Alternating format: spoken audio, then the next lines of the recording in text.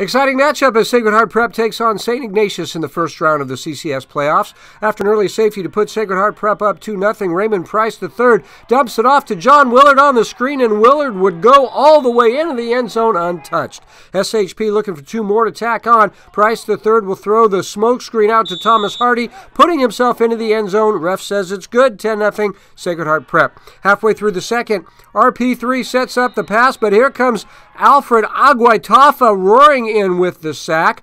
SI with the ball now. Zachary Taylor Smith buying time, keeping his eyes downfield, and he finds a wide open Bryan Blake, and Blake turns on the speed. It's a 15 yard catch and run. Taylor Smith now pitching it off to Mark Biggins Jr. He waltzes into the end zone. 10 7 SHP leads. Five minutes left in the second. Price the third now, setting back up in the pocket, and then decides to take off on a 35 yard scamper down the field to set up for a field goal that ended up no good before the half. Sacred Heart Fresh out of halftime. RP3 hands it off to Tommy Barnds. Barnds will shrug off a couple of defenders and be taken down 30 yards downfield. A powerful run there. Tevita Moimoi looking to one up Barnds' powerful run with a better one. Moy shrugging off one, two, three defenders. What a run! That dash sets up an SHP field goal 13 7 Gators. Taylor Smith now sitting in the pocket, lofting it up for his big man receiver Bryan Blake, who brings it down but the Cats did not score, and then later in the fourth, the pass is picked by William Peterson to seal the deal. Sacred Heart Prep wins it 13 to 7. The Gators to take on the winner of Sacred Heart Cathedral and Live Oak. Highlights of that one later in the show.